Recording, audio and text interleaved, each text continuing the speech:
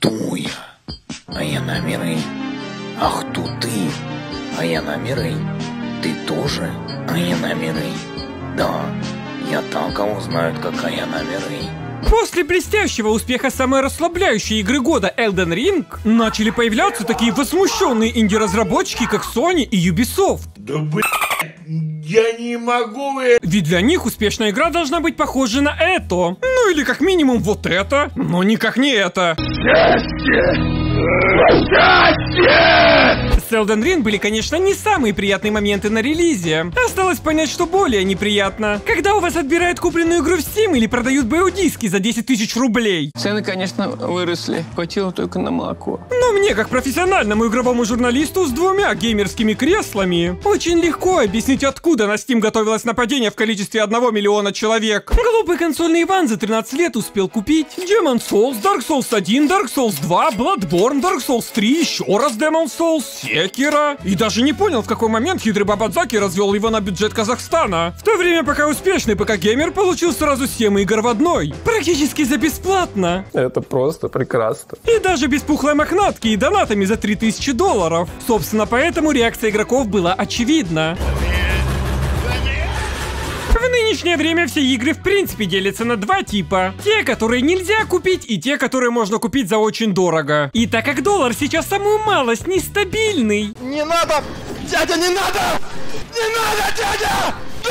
Лучше всего вкладываться в покупку чего угодно, что еще физически можно купить. Последние оставшиеся техники, последних оставшихся игр за 8000 рублей. Ну или в сахар. Главное это делать с кэшбэком. И только карта Тинькофф All Games дает многофункциональный кэшбэк, включая 10% кэшбэка на любую технику при первой покупке для всех новых обладателей лимитированной карты с уникальной фишкой. Мимасиками. От художников из Lazy Square. А главная фишка карты 20% кэшбэка все еще работает с доступными магазинами, где есть раздел игры, будь это физические издания или ключи. Все дальнейшие покупки будут обеспечены кэшбэком до 5% с игр и до 2% с техники. А если вам повезет и за месяц вы потратите больше 10 тысяч рублей, автоматически станете участником акции со 100% кэшбэком на покупку консолей ПК до 50 тысяч. И данная акция проходит ежемесячно до конца года. Деньги можно даже не тратить, ведь давно существуют гайды, как прожить на 0 рублей. А по всей сумме на карте можно получать 4% годовых начислений. Создать свою геймерскую карту можно по ссылке в описании. И так как Elden Ring абсолютно и точно новая игра, маэстро Мамадзаки решил добавить в нее безобидные пасхалки из своих прошлых частей. Отсылка на одинаковое оружие, отсылка на дизайн брони, отсылка на боссов,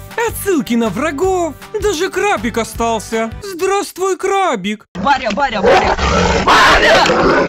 Даже текстуры и анимация тоже отсылка. С чем что-то менять, если 30 лет до этого отлично работало? Сложнее всего было сделать отсылки на ресурсы для прокачки. Души были, кровь была, какая-то херня в Секира тоже была. Что у нас осталось зловещего? Руны, которые выглядят как души, похожи на души. В принципе, это и есть души. Но это не души. У нас новая игра. А вот с Лоскутиком все стабильно. Он по-прежнему преследует нас в каждой части. Я говно. Я конченое ничтожество. Я никчемная тварь, блядь. Но я, блядь, красив в этом. И так как это игра от великого геймдизайнера, в ней есть две неизменные вещи. Боссы-драконы.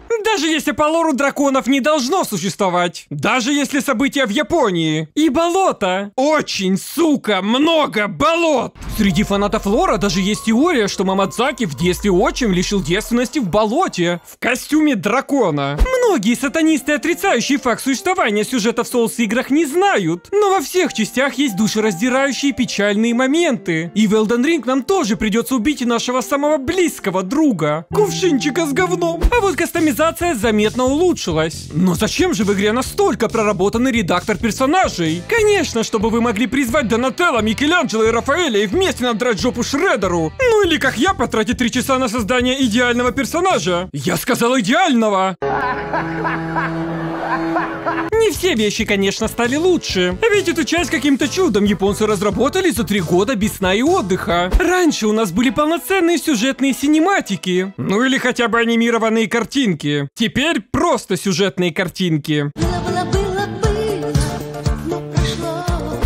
Было, было, было, было, но прошло. С клавиатурой у у игр From Software по-прежнему сложные семейные отношения. Чтобы выйти назад в меню, нужно нажать кнопку мыши и выбрать функцию «Назад». Как умно, как гениально. Или же найти специальную кнопку, которой нет на клавиатуре. Кто ты такая? Что это за слово? Для справедливости нового в Elden Ring куда больше. Всего лишь 6 игр потребовалось, чтобы персонаж наконец-то начал прыгать. Но самое главное это открытый мир, получившийся после порочного совокупления Skyrim и Dark Souls 3. Это буквально открытый мир темного фэнтези. Здесь даже карта, как в темном фэнтези. А дело Ubisoft. Даже лошадка здесь отличается от других RPG. Иди за мной и постарайся ничего не затоптать, пожалуйста.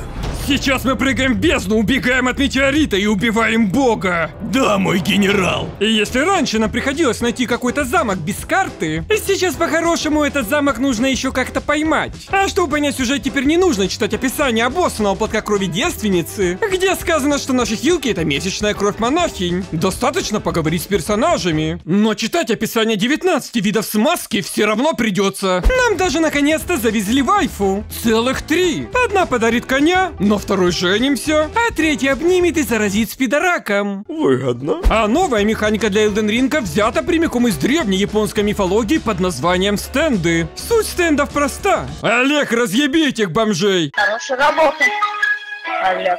Говорят, что еще кто-то пользуется стелсом. Но у нас другой путь ниндзя. Мы используем только... Щит. Ёбаный щит, блядь. Ты кто такой, сука? Только так можно прочувствовать всю атмосферу битв с боссами. Играет э, музыка японского композитора Хирадука по роялю. Мама, я не хочу умирать! Нет, мама, за что? Думаю, теперь очевидно, почему все фанаты так активно продвигают Elden Ring в массы. Хотите поговорить о нашем спасителе? Элден Ринг. Нет.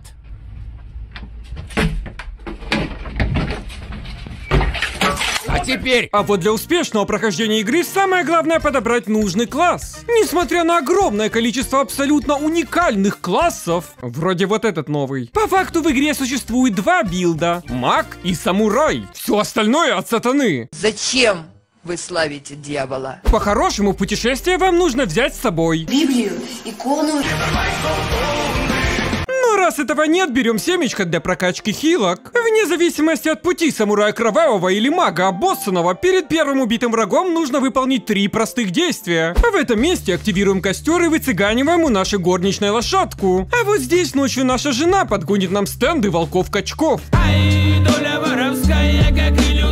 А далее собираем все отметки на этой карте. Ведь все самые полезные вещи, включая оружие, броню, талисманы, камни для заточки и ресурсы, просто валяются на земле как говно. Поэтому крайне важно знать расположение этого говна благодаря интерактивной карте. После успешной заточки нашей катаны, идем брать еще одну катану, чтобы обмазываться ими. И по подбородку, и на... В идеале нужно еще получить отдельную способность кровавого оружия у этого врага в башне и талисман опыта с этой пещеры. Но для этого придется заняться самым мерзким за 10 часов игры – сражением с врагами. Для магов ситуация проще. Вам понадобится найти две вещи – заклинание и особенный стартовый посох. Только Мерлин умел обращаться с волшебным посохом. Мерлин и маленькие девочки. Все это находится в этом месте, куда можно добраться на лошадке. Готов вкалывать. Или телепортироваться через сундук. Просто примите это. Понял? Врубися, блядь. И вот теперь мы уже готовы заняться главным в этой игре. Жестким, брутальным фармом.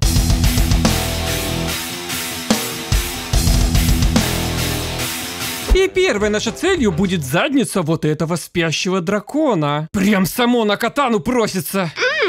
So good. А если успеть добежать до костра, прежде чем он исчезнет, этот трюк можно проделывать до бесконечности. Ну ты, бля, фокусник. Для магов тоже есть лайфхачики. Буквально рядом вы можете убегать от камня, скидывая его вниз за 2000 опыта и повторять это. 8 ебучих часов. И вот когда вы успешно апнули сотый уровень, не сражаясь в принципе с врагами, настало время пойти к первому боссу. А я все думал, когда же ты появишься? Не надо! Дядя, не надо! Не надо, дядя! В дальнейшем по гайдам можно найти фарм-поляну, где для получения максимального уровня достаточно просто упасть вниз на лошади, спамя атаку и телепортироваться к костру. Это победа просто человека над системой. Правильным падением здесь можно сделать в принципе все. Как, например, пройти игру за одну минуту. Как? Как? Я не знаю. Но если вы решили играть по классике, убивать много боссов для концовки не придется. Обязательных всего лишь плюс-минус 11. И убить этих бомжей в правильном порядке достаточно просто. Практически всех. Я, блядь, в своем познании настолько преисполнился. Проблемы начинаются с побочными. Внезапно захотелось заплакать. И тут у вас есть два пути. Не смогли смириться с поражением. И куда вас это привело? Снова ко мне. Ну или воспользоваться помощью бомжей щитами. Ты один приходи, мы тоже одни придем. А вот сюжет Elden Ring меня реально удивил. Ведь для его создания был нанят сам Джордж Мартин. А за проделанную им работу всех основных боссов и персонажей даже назвали по его инициалам. Ну что же сделал наш любитель? Писька, писька, писька, писька, писька, писька, писька. Скопировал сценарий Атаки Титанов. Хорош! Мега хорош! Хорош! Но добавил свою фирменную фишку – инцест. Шикарно! По сюжету в далеком королевстве была девочка со светлыми волосами, которой присосался инопланетный глист. Девочка женилась на короле и родила детей. Но на короля было совершено покушение, после чего девочка родила от своего клона еще детей и умерла. А их дети начали использовать космического глиста, чтобы сражаться друг с другом. И в конце, короче, Микаса влетает зуб Титана прародителя и отрезает голову Эрена. А мы параллельно уничтожаем космического глиста и освобождаем эльдийцев от проклятия Титанов. Но это не точно. И итоговая оценка сюжета. В хентае лучше. А еще лучше в нашем уютном ламповом вовсе не гейском телеграм-канале, где уже 50 тысяч. И новостной группе ВК, куда я вероятнее всего перейду после закрытия, по всей видимости, интернета. А всем, кто хочет меня поддержать стабильными рублями и загнивающими долларами, уже доступны мои эксклюзивные Boosty и Patreon, где меня уже одевают и кормят эти прекрасные люди и женщины. Ведь в нынешнее время база не кормит. А все налоги успешно идут на ежемесячные розыгрыши игр среди патреонов и бустионов. А вот Elden Ring советую купить всем, кто физически может это сделать. Она с нами теперь надолго. Других настоящих игр вроде не планируется в ближайшее никогда. Когда-нибудь же будет хорошо? Так хорошо уже было.